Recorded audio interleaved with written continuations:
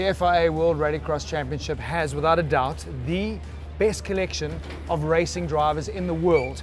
And sitting proudly at the top of that pile is Johan Kristoffersson, back to back champions. No one can touch you. Feels good. Yeah, it feels very good. It feels very good. I'm really, if I could choose any sport or any motorsport, let's say, and uh, in any team, any car, I would be exactly where I am. So yeah, I'm, I'm a very happy man.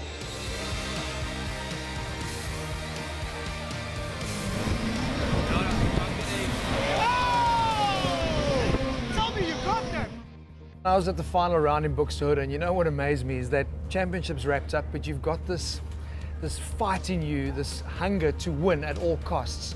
Uh, where does that come from? I think, I mean, from the bottom, I mean, since I was really, really young, I started to compete in everything. I mean, in everything. Just jump into the car, put the seatbelt on fastest, like run to, run over the crossroad, whatever it was. I was competing in everything. And Were I, you a second child in a family? Yeah. Uh, yeah, so yeah. you always okay. Yeah. That, that, makes so, sense. yeah, so I, I always been competitive, and then you know to, to really try like if we say Buxtehude, it's been a racetrack, but I've never succeeded before. I've never been in the final, so I really I, I came there as a champion last year, and I messed up that weekend.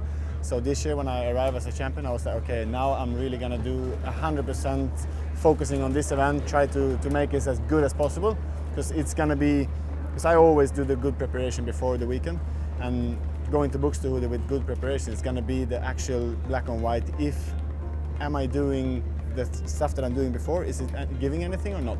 So I did all the preparations I could and I was able to win the event, so that meant a lot to me.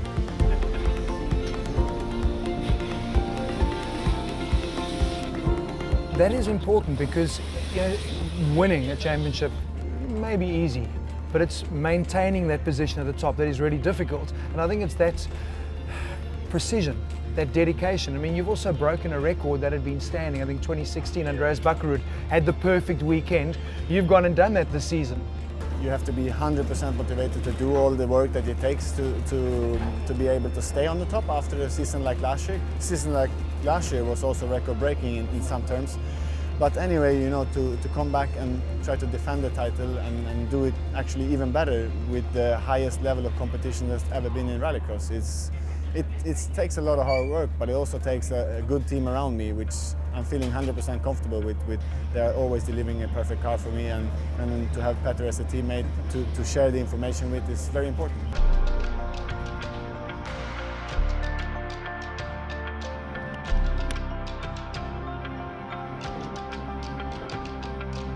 Look, I, I, think that, that is really cool. There's a transition in World Rallycross at the moment from the old style Petter Solberg way of driving to your more circuit focused, almost precision, but a lot you can learn from a, a wily old fox like Petter. Yeah, for sure. I mean, uh, he have a lot of experience back from the rally. He have a good car knowledge to, to know how to set up the car and to feeling for the car, what can make it even faster. In terms of the gravel and, and, rally style and I'm a little bit more of looking into the data and, and, try to optimize the car for that specific track. So we are working very well together and putting all these things together in one big uh, you know pot and try to, to make the best out of it. Has been working very very good. And as you say I mean the old style of driving a little bit is, is outgoing and this is because of also the rallycross tracks is going more towards uh, circuit racing in terms of tarmac and, and concrete instead of, instead of, of, gravel. Is that a good thing? Uh, I think it's pluses and minuses. I mean, I also like the gravel, and, and you know, it it mixes up the, the driving style a little bit more.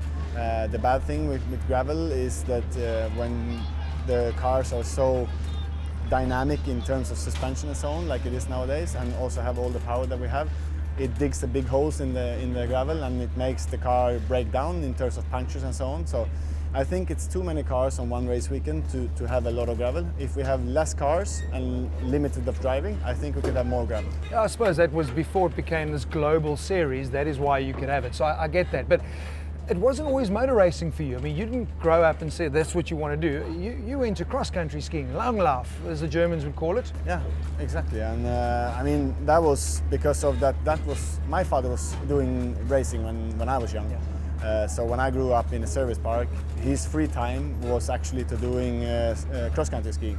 And as competitive person as I was, I went straight into okay, let's be the best in, in, in cross country skiing. So uh, when I was six, seven years old, I was before going to school. I was in the in the garden doing cross country skiing, you know, seven o'clock in the morning. So I always been quite driven and try to to maximize what I'm doing, and I did that 100% until I was 19, 20 years old. So I made it up to the top in juniors in Sweden, yeah. and then I started with circuit racing when my father stopped his his racing career. So that was the first time for me there was opportunity to race myself, and I get stuck from there. Yeah, and I mean it's the end of the season, final round, going into the winter break things are intense on a race weekend. There are interviews like this happening all the time. What, is, what does Johan do to get away and, and de-stress? Yeah, it's it's really busy. I mean, I'm not all, I'm not only doing the rallycross. I also doing circuit racing in Sweden. So I'm doing like 20 race weekends a year, and on top of that, I, I during the winter time I try to keep me up to pace with, with rallying in Sweden on snow. So actually the weekend after I arrive back home, uh, I will go straight for testing in circuit racing. so you actually relax and unwind strapped into another race car? Yeah, exactly. So I have 220 plus uh, travel days a year. So it is a lot, but I think that's also again the mentality that I took from cross country skiing that I have the more practice I can do, the better driver I become. And as long as I will do motorsport, I will do 110% and when I stop, I stop. What is it about growing up in the Scandinavian countries that makes you guys such good drivers? Is it the wet, dodgy conditions? Because there's a lot of fantastic drivers that come from your area. Yes, especially in, in I think like off-road racing or like more rally and dirt and rallycross and so on. And uh, I think, I mean, we used to say in, in the region where I live, which is quite in the forest in Sweden. So if you are two friends, you do rally, you are driver and co-driver. If you are four friends, you do a music band. Okay. So that's normally like, what's like ABBA. yeah, exactly. so that, that's how it used to used to be. But uh, yeah, I started to, to drive car when I was six years old. So unbelievable. Yeah. Yeah, and just to just to wrap up, um, where to for for next year? Um, championship number three, as committed, as dedicated. Yeah, I'm 100% motivated to do another year in Rallycross, uh, but it's not clear yet what I will do next year. So it depends a little bit what's happening with Rallycross. Porsche was pulling out and so on. So it's a little bit uh, shaky days for the Rallycross, but we will see how it goes. I mean, if Volkswagen is staying in the sport and I will be one of the drivers there, for sure the, the championship will be the target. But um, still, the, the doors for circuit racing and other sports are, are a little bit on the little bit open. But we'll see how it goes.